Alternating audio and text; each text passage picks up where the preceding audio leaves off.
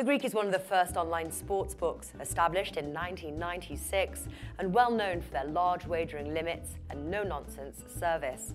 The Greek is located in Montego Bay, Jamaica, and today we'll be taking you through a quick tour of their website. This is the front page of The Greek. The sportsbook software is made by ASI. To log in, hit the sign in button on the top right of the page. From here, you have the option to be taken to the sportsbook, casino, or poker room. Enter your username and password. Choose from the list of sports leagues on the left-hand side of the page. Once you've selected a sports league, there are several ways to search for your events, including date, league, and by week. Click on your desired bet type, for instance the spread, moneyline or total. The wager will appear in the right corner. Enter the amount to risk or win and click proceed and then confirm the bet.